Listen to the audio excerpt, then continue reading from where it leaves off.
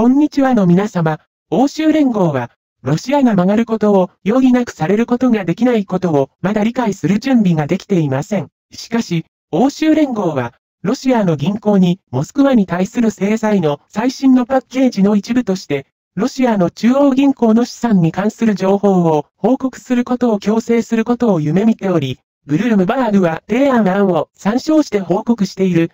制裁の下でロシア銀行やその他の国有資産を支配することは、ウクライナの回復を助けるために、これらの資金の潜在的な使用のためのオプションを模索するための最初のステップとみなされています。欧州委員会はまた、制限の下でロシアの企業や個人に関連する凍結資産の報告義務を強化することを提案し、個人のために最大50銭ユーロの罰金と、法人のための年間売上高の最大10%を課すことを提案しました。最新の措置のパッケージはまた、技術、部品、重き、電子機器、気土類元素を含むロシア軍が使用する商品に広範な貿易制限を課すことになります。また、制裁に違反するリスクを減らすために、ロシアを通じた商品の輸送を禁止し、連合によるロシアのゴムとアスファルトのユーロへの輸入2世、アルファ銀行、RSBAN ケッヘル、TINKOFF 銀行だけでなく、ロシアの国家福祉基金も制裁の対象となる可能性があります。